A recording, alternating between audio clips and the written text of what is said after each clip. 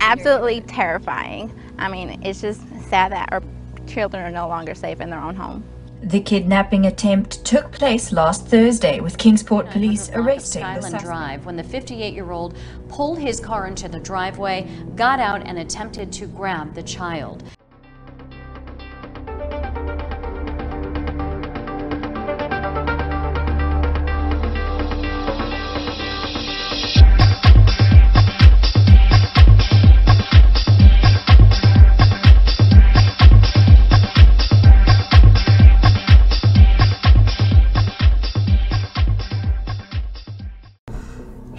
And welcome to Explore the Unknown.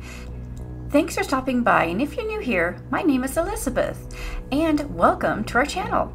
And if you're returning, thank you for coming back. We love seeing you. And I want to say thank you also for continued support for our channel and viewing our videos. We do appreciate it very much. And if you'd like, please make sure to support us by hitting the like button, the subscribe, as well as the bell. Now let's get into this case. Now, while giving your kids their, when they get old enough, responsibility for doing chores around the house and outside, like cleaning up and such, it should be safe, especially in your home and in the house. Well, this one mother sent her 12 year old son outside to mow the lawn, thinking nothing of it that he's done this before in the past, having no problems or issues. But this day was different for this particular 12 year old boy who was just doing his chores like he had done before. We have been keeping up with the Summer Wells case, and in doing so, this case popped up. It's happened in Kingsport, Tennessee. This man was trying to kidnap this 12 year old boy when he was just trying to mow the lawn. Boy was mowing a lawn in the 3900 block of Skyland Drive when the 58-year-old pulled his car into the driveway, got out and attempted to grab the I child. chased him into his garage, through his garage. The child got into the house, and then the subject actually tried to gain entry into the house forcibly, but was ultimately unsuccessful on doing that. telling him, Come here, boy. The boy ran into the garage for safety, and he went into the house and told his mother. And the suspect had ran after him through the garage. Then the suspect tried to get into the house. The boy's mom had locked the doors already and told him to leave, or she's going to call the police, even though she did call the police. This man ran away before the police had arrived. The boy was not hurt or injured in any way, he was just shaken and scared. Later, they caught the suspect. His name is Tonie M. Hammonds. He's a 58 year old man. They did charge him with attempted aggravated kidnapping, aggravated burglary, and simple assault. Now, Hammonds was also charged for violating his probation related to a previous theft conviction. Now, Hammond was taken and arrested. He does remain in the Kingsport City Jail pending his arraignment, and he's not eligible for any bond. A neighbor said that she had gotten chills when she saw the incident unfold right in front of her. Right. Neighbors, especially those with kids, fear for the safety of their children. Absolutely terrifying. I mean, it's just sad that our children are no longer safe in their own home.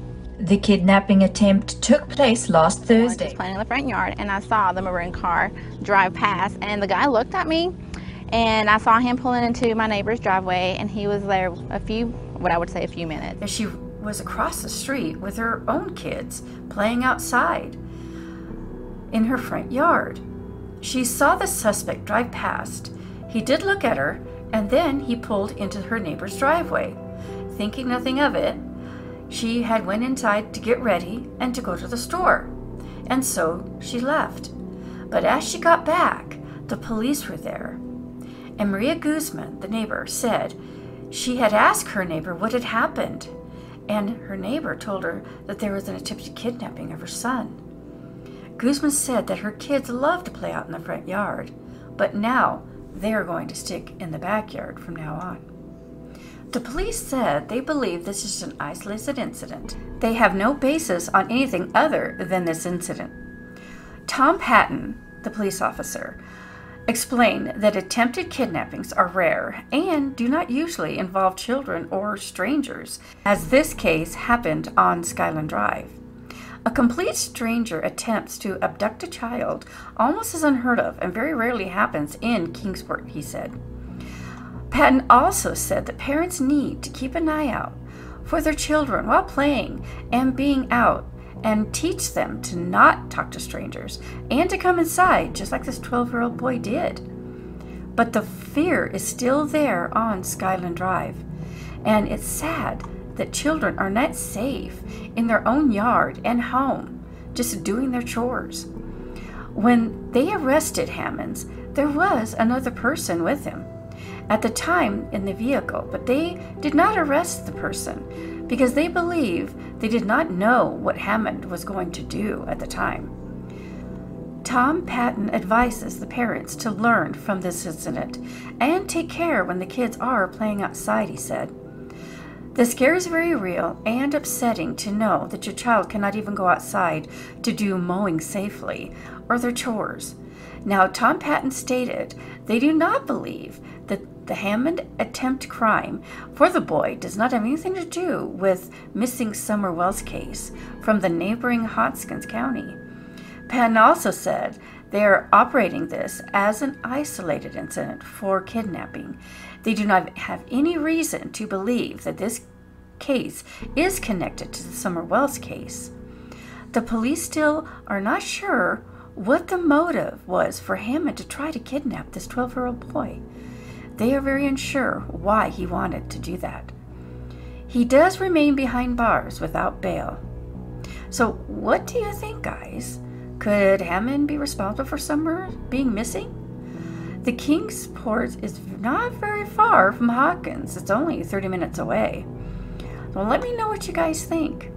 Be kind and respectful in the comments, guys. And of course, I will always keep you posted on what's going on.